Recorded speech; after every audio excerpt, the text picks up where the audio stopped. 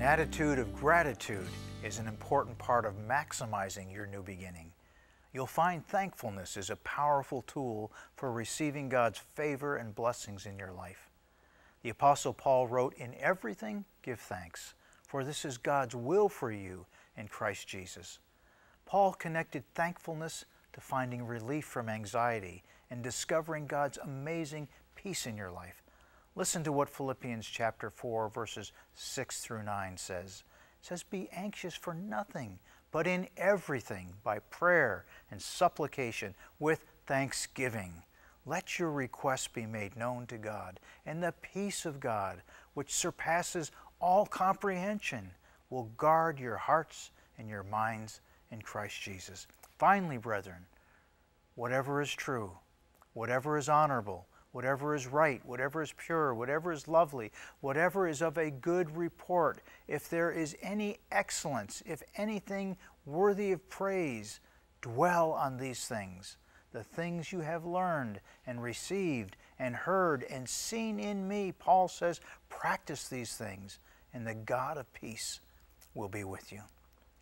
Take a few moments right now to meditate on the things in your life that are worthy of praise.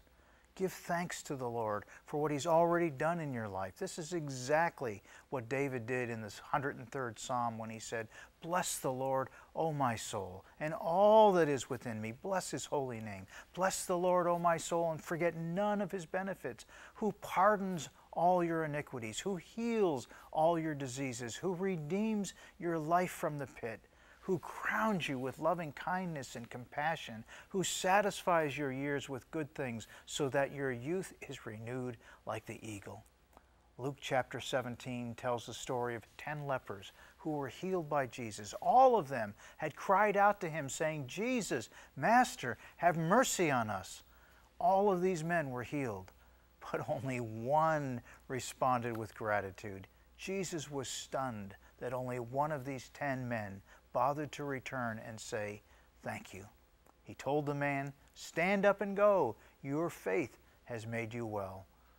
While all the men were cured of their leprosy, the one who returned to gratefully give glory to God seems to have received an added dimension of healing and restoration. His new beginning involved not just a physical healing, but a spiritual and emotional transformation as well. Friend, I encourage you in all the things that you experience in life. Give thanks. As hard as it may be, give thanks to God. Thank Him for His healing.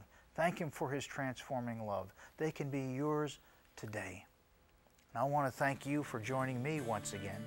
I pray God will give you the new beginning that you're looking for.